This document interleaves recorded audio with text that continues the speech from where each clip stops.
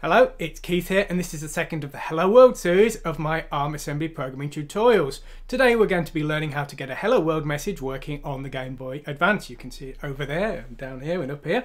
Um, very basic, just Hello World message, but we'll later be extending that and we'll be making a more advanced version which also runs um, some debugging tools, a monitor showing the registers and a mem dump showing a little bit of the memory there.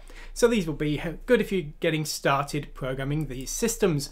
Now the problem with the Game Boy Advance advance is we're going to have to write our own font routine, we're going to have to define our own font, and we're going to have to use that to draw pixels to the screen. We're going to be using a bitmap screen today, not a tile map, because that's the easier way to get started if you're a beginner, I think. You know, you've got total control of the screen memory, at least that's what I think, so that's what we're going to be looking at doing.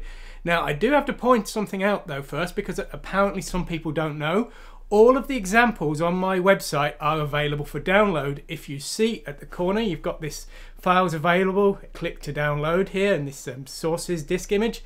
If you click that, you should get a zip file containing all of the sources for the um, ARM assembly programming tutorials. Everything should be in there. I say that because I quite frequently get complaints that I use screenshots images for my screenshots rather than copy pastable source code. You shouldn't need to copy paste anything. You should just be able to get the entire source archive. And if you can't find the file you're looking for in there, let me know because I might have forgotten, but they should all be in there. Uh, just need to point that out because as I say, I do occasionally get complaints about that. Anyway, today we're going to be learning how to make the Hello World example. We're going to learn how to compile it. We're going to use our assembler. We're going to look at the command line that we use to do that. And we're going to look at how to start it in our emulator, but actually that's very easy for today's example.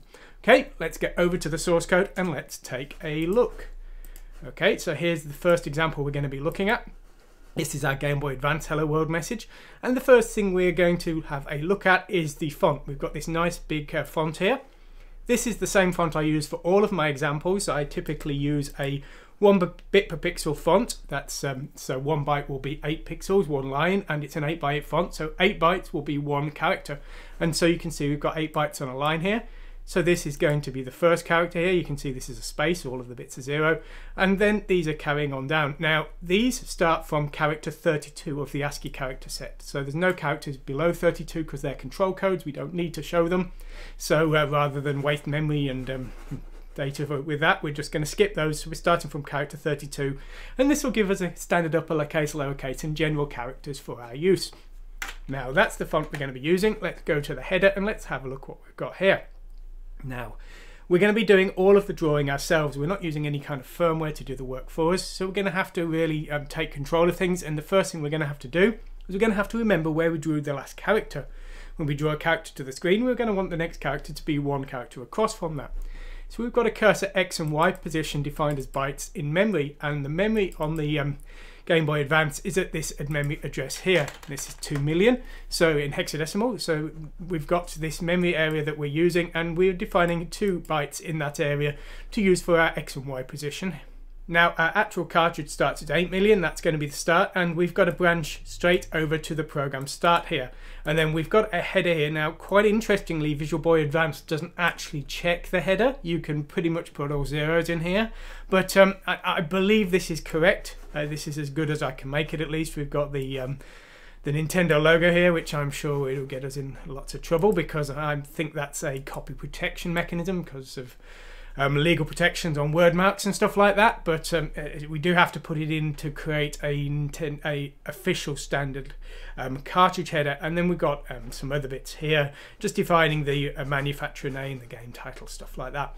Our actual program though starts down here and the first thing we're doing is we're setting a stack pointer this thing is literally going to run when the, car, the console starts up. So we're going to have to set everything up ourselves. And the first thing we're doing is we're setting up the stack pointer and we're pointing it to the very end of that RAM area. So we're using the sort of um, minimum values for our data, our um, cursor position, and the top is the stack. So of course they're not going to collide unless we use a lot of data one way or the other what we're doing next is we're turning on the screen. We're using this um, port here, um, 4 million here, and we're going to send the value hexadecimal 403 to that port, and that will turn on layer 2 in screen mode 3, and that is a bitmap screen. And this allows us to write bytes to a memory address, and these will immediately appear as pixels on the screen. So for me, that's the easiest way to get started on a system, so that's what we're doing. Okay, we're then loading the memory address of the hello world string. We've got our hello world string just here. This is the string here. It's 255 terminated, which is what I always use in my tutorials. We have the address here at this at this uh, point here. Now, the VASM syntax I'm using for some reason uses longs for 32-bit and um, Word for 16-bit. That's not quite normal for um, the ARM. I quite like it personally because I'm used to 8-bit, but I know that's not normally correct for um, for ARM. But uh, just bear with me on that. That's what we are using today. So we've defined the address here, and then we're loading that address in with this LDR command into R1. Now um, I don't think I maybe need to do this in this case because the actual address of the data is fairly close. There's this whole thing of there's limits to the positions that ARM can load in from. It's got to be fairly close to the program counter, so I think maybe I don't actually need to do that in this case, but um, we might as well have it anyway. So we're, we're loading in the address of the hello world via this address here using LDR here, and then we're running our print string routine here. And this print string routine is very simple. It just reads in bytes from the address with the hello world message. It checks each one. If it gets to a 255, it returns. And if it hasn't got a 255, it's going to print the character to the screen. And the print character to the screen routine is this rather horrible long thing just here. So this is the print character routine. We're going to go through it in sections because it's quite long, but um, we'll, we'll get the hang of it hopefully. So the first thing we're doing is we're calculating the screen position of the um, character we want to draw next. So the VRAM base is at this address here. This is 6 million here. So this is the base of the video memory and each pair of bytes in that address is going to be a pixel. Each pixel is represented by two bytes, a half as it's called in um, ARM. And um, these are in the format shown here. We've got one bit that is either unused or alpha, depending on the um, screen layout. And we've got five bits for blue, five bits for green, and five bits for red. So a very nice, easy way of drawing on the screen, in my opinion. Um, it is worth pointing out that on the um, Game Boy Advance we have to read and write to the screen in halves. If we uh, write it a, a, single byte, it will actually reset the other byte as we do it. So you'll find your screen suddenly becomes half resolution. I suspect that might be an intentional thing to make low resolution drawing faster or something like that. But um, as I say, I did make that mistake and uh, it doesn't work well. So we, we're working in halves here. Okay, so what are we doing? Well, we're getting our x and y position in here, and then what we're doing is we're multiplying the x position by 8 times 2. Why 8 times 2? Well, because there's 8 pixels per character, and there's 2 bytes per pixel, so 8 times 2. Then we're taking our y position, and we're multiplying that by 240 times 8 times 2. Why 240? Well, there's 240 pixels per line, and there's 2 bytes per pixel so that's 240 times 2 and there's 8 lines per character so times 8 and that's our y position component and what we're doing then is we're adding those two x and y offsets to our screen base and we've now calculated the top corner of the character we're going to draw. What we need next is to get the data that we're going to draw to that memory position.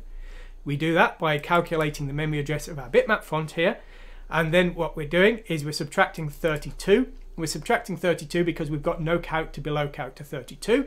And then there's 8 bytes per character. So we're taking that offset and we're shifting it to the left by 3 bits and that effectively multiplies it by 8 and we're adding that to the bitmap font base and that now calculates the offset in the bitmap font of the character that we want to show to the screen. So we've now got our source bitmap font and our destination screen.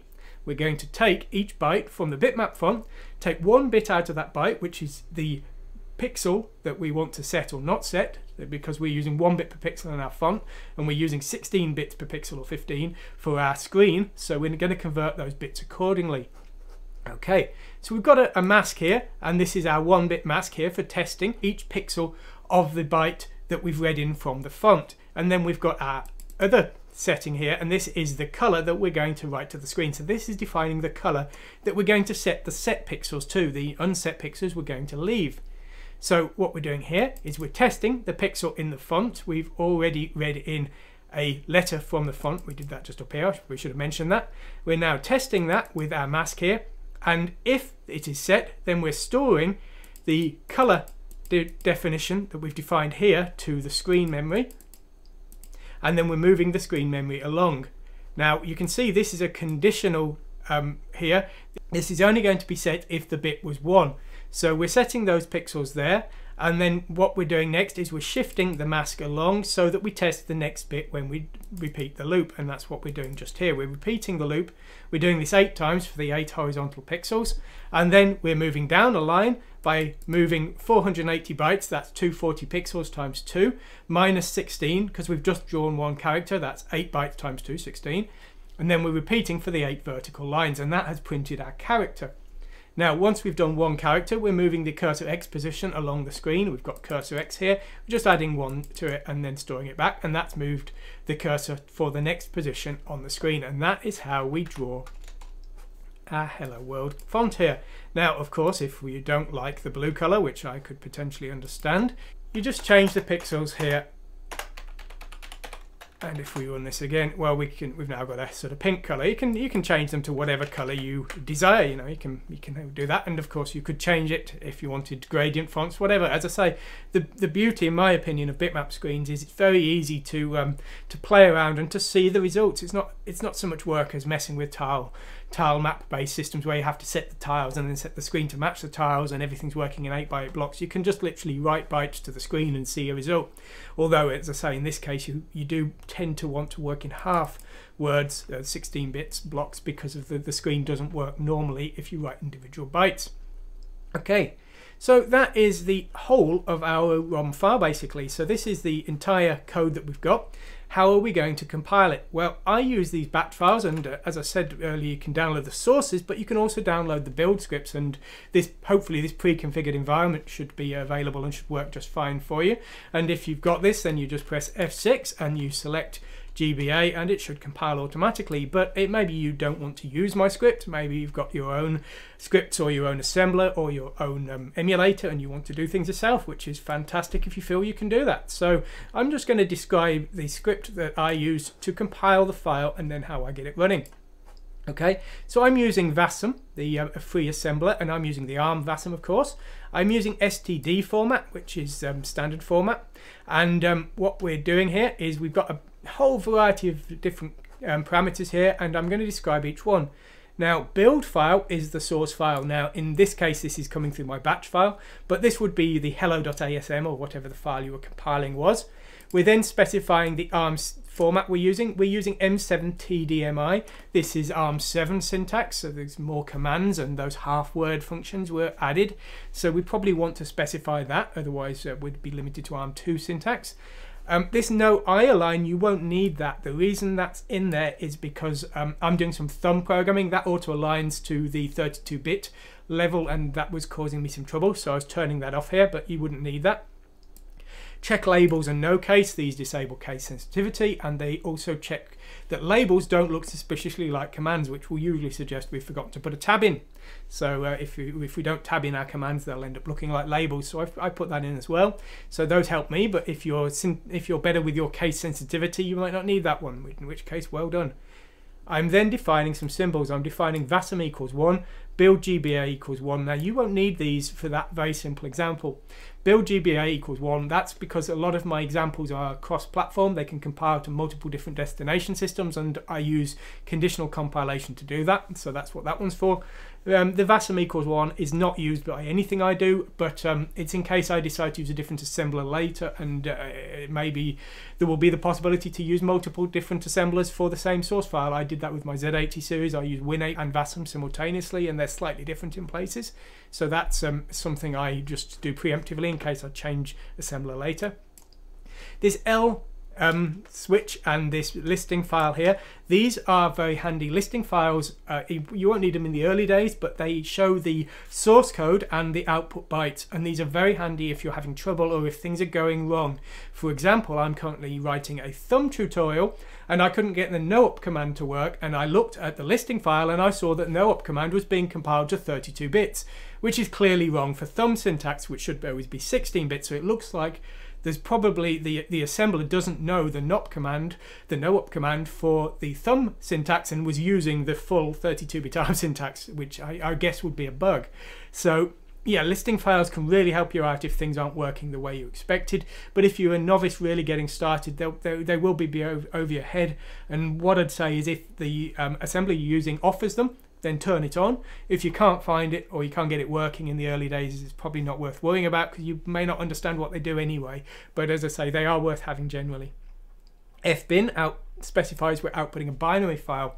The cartridge we're creating, we've created our own header for it. It's just a, a dumb block of um, byte data, which is personally what I like. And then we're specifying the output file, program.gba. It's got to have a GBA extension for our emulator typically, but um, that's um, that's it. That's just the file we've created. Now, if that all goes okay, we're checking the error level there, but if all that all goes okay, we're starting it up with our Visual Boy Advance emulator, program.gba, and that starts the emulator straight away, which is what you saw just here. So very easy. Of course, you can load it from the file menu if you prefer. So there we go. That's the first example. Now the second example I've got, I'm not going to go into a lot of detail, this is just a bit of a bonus. I always use my own uh, monitor and debugging tools. I write my own and I, I don't tend to use the assembler ones, the uh, emulator ones, sorry, unless I'm desperate because um, they vary system to system and I program so many different systems I don't really have time to learn them, I forget how they work and um, sometimes they aren't available. So I try and use my own where I can. So um, I'm, I've included these in here, we've just got this addition here. We also need a new line function for my um, monitoring tools, which we've got there. We're just zeroing the X cursor, increasing the Y cursor there, very straightforward. So that's um, that's something that this needs. But when we run with this, we will see a few little nice things. So here is the second example here. My right click menu doesn't seem to work there for some reason. Okay, we'll have to do without that. Now, the first function here is this monitor function. This will show all of the registers to the screen. You can see them all here, and it doesn't change any of them either. So you can put this, if you're having problems with part of your code, you can put this in and just check all of the registers and see if maybe one of them doesn't contain the value you expected it to, or maybe you're um, testing something like reading from the joystick and you want to see a quick output from that joystick read to the screen, and you can use this in that capacity. The other one is the memdump. We specify a memory address here, a number of lines, and we run the memdump, and it will dump those lines of memory to the screen. And this is um, good for testing, if you're testing the um, addressing modes and how to read and write data to and from RAM. These are great for seeing what's in memory and seeing if it's changed. It's also good if you're having trouble and you're getting concerned that maybe something's corrupting your data. So if you've got a RAM area and it's not working right, or if you're loading your cartridge in and it doesn't seem to work at all, and you think, well, I'm, is part of my ROM not in the position I thought it was, this can be quite handy for checking that as well. These are basically just two free little bonuses that are uh, very easy for me to add. You know, they, as I say, I already have them. And so I do include them in part of the Hello World series, although I'm not going to discuss how they actually work because they are quite complex. But anyway, there we go. That's all we're going to be covering for today. As I said earlier, you can get all of the source code for today's example from my website, so you don't need to type anything in. You can also get those build scripts. Um, so hopefully, if um, if you're working on a Windows PC and um, the winds are blowing in the right direction, you should be able to compile all of this straight away without any effort. And hopefully you can get everything started as quickly as possible because I know when you're just starting out and you you just want to see something working and then start tweaking it and trying to make it into something else. So hopefully um, my build scripts will help you out there. Anyway, I hope you've enjoyed this today. Thanks for watching. If you've enjoyed this video today, please consider supporting my content. It takes 20 to 30 hours a week to keep making these videos. It's basically all I do when I'm not doing my day job, and it's only through the support of my patrons and the other sponsors that I'm able to continue justify doing it, essentially. You can back me on Patreon. I post a weekly update with the latest work on the current projects I'm doing. You can see one here, and also the newest videos. There's a large backlog of videos that are currently only available to the patrons, although they will all be available to everyone later on. And also, it's the backers who I ask when it comes to making decisions on how to change the content in the future, what new content to create, and things like that. You can see there was recently a survey of the backers, so I can plan next year's content. As well as Patreon, you can now become a member of my channel on YouTube. There's a join button you should see just below this video. You can use that. YouTube backers get the same content as Patreon. I just post it through the YouTube interface instead of the Patreon one. It's the same content every week. Also, if you prefer, you can go to my Teespring store and you can get some ChibiAkumas merchandise or some Learn ASM merchandise if you prefer, if that's how you would like to back me. Links for all three are in the description of this video below. Uh, anyway, whatever you decide to do, I hope you've really enjoyed this video. Thanks for watching today and goodbye.